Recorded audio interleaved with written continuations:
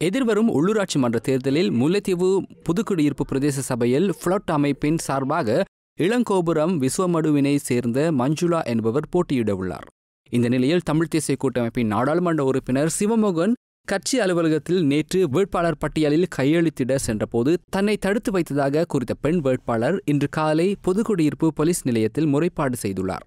நான் பிளாட் இயக்கத்தில் வீட்டுக்கு தான் வேட்பாளராக என்ன நியமித்தது. சிவனை சேம்பி தான் வீட்டை வந்து கதைச்சவர் காய்ச்சல் இதில் நாலு கிராம மக்களும் எனக்கு ஆதரவு இருந்ததுட்டு தான் நான் வேட்பாளராக நியமிக்கப்பட்டது. அதை விட்டு சைன் வைக்கிறதுக்கு ஃபைலில் சைன் வைக்கிறதுக்கு எனக்கு முதல் நாள் இருந்தே சைன் வச்சாச்சோ வச்சாச்சோன்னு விட எனக்கு எதிர்ப்பு கொஞ்சம் மத்தியில் நான் ஓ சைன் வச்சிட்டேன்றதை உறுதிப்படுத்தி சொல்லிட்டேன். நான் சைன் வச்சிட்டேன்னு சொல்ல ஆனால் சிவநேசன் டாக்டர்கிட்ட தான் எங்களோட என்பி இதை கொடுத்துருந்தார் ஃபைலை கொடுத்துருந்தார் இல்லை நான் என்ன செய்தேன்னு சொன்னால் அந்த ஃபைலுக்கு சைன் வச்சது சிவமோகன் டாக்டருக்கு மட்டும்தான் தெரியும். நான் சைன் வைக்காத பிரச்சனை. அப்போ அவரோட கையால் ஒரு ஆள் ஏ தீவன் சொல்லி அவர் தான் முந்நூறுமா அப்போ நான் இங்கேருந்து பன்னெண்டு மணிக்கு சைன் வைக்க போகல. பதினொன்று ஐம்பத்தஞ்சுக்கெல்லாம் நான் அங்கே போயிட்டேன்.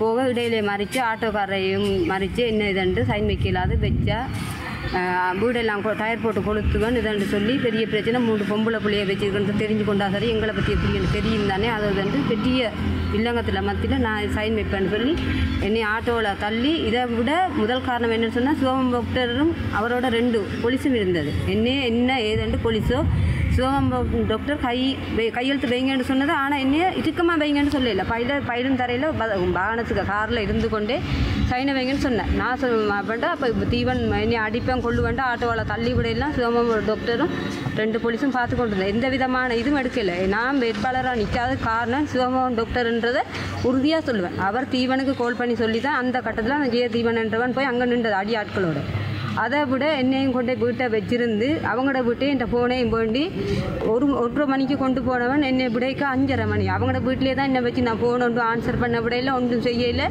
அஞ்சு மணி மட்டும் எனக்கு டைம் கொடுத்தது சைன் வைக்கிறதுக்கு. சைன் வைக்க விடாமல் அவங்களோட வீட்டுக்கு வச்சுட்டு என்னை அஞ்சரை மணிக்கு என்னைய வீட்டுக்கே வச்சு கொண்டு என் பிள்ளைகள்கிட்ட போய் கேட்டுருக்குறேன். பக்கத்து வீடு தான் என் பிள்ளைகிட்ட கேட்டுருக்குறேன். அம்மா எங்கே அம்மா வர இல்லையா? வந்து கேட்டுக்கிறோம் அம்மா எங்கள்கிட்ட சொல்லி மூணு பேர் வீட்டை வர என்ற பிள்ளைகள் வந்திருக்குது. அம்மா அக்கா கேட்டை போட்டுங்க. யார் வந்திருக்கா அம்மா தேடியன்னு சொல்லி போக கேட்டை திறந்து கொண்டு வெளியில் போயிட்டேன் அப்படி சரியா எனக்கு இவ்வளவு பிரச்சனையும் காரணம் சோமம் டாக்டர்ன்றதை நான் உறுதிப்படுத்தணும் என்னென்னு சொன்னால் நான் ச- சைன் வைக்காத காரணம் சோமம் டாக்டர் ஒன்றுக்கு தான் தெரியும். ஊருக்குள்ளே நான் வச்சுட்டுன்றது தெரியும். சோமம் டாக்டர் கால் பண்ணி சொல்லி தான் ஜேதீவன் தன் அடியாட்களோட வந்தது நான் உறுதியாக இந்த மீடியாவுக்கு நான் தெரியப்படுத்துகிறேன் என்ற வேட்பாளர் பதவி இல்லாமல் போனதுக்கு காரணம் சிவம் டாக்டரும் அவர் அடியாட்கள் என்று நான் உறுதிப்படுத்தி சொல்லுவேன். என்ற சோமம் டாக்டரோட ஜேதீவன் என்பவர் இன்றைக்கு நேற்றில் தொடர்ந்து ஒரு அஞ்சாறு வருஷமாக அவரோட தான் இருக்கிறார். என்ற அவரோட தொடர்பு இல்லாமல் ஜெயதீவன் அங்கே வந்ததுக்கு இந்த சான்ஸும் இல்லைன்றதை நான் இந்த மீடியாக்காரருக்கு நான் தெரிவிக்கிறேன். சம்பவம் தொடர்பில் வழக்கு பதிவு செய்த புதுக்குடியிருப்பு போலீசார் சந்தேக நபரை கைது செய்துள்ள அதேவேளை பெண் வேட்பாளரை மருத்துவ பரிசோதனைக்கு உட்படுத்துமாறும் அறிவுறுத்தியுள்ளனர்.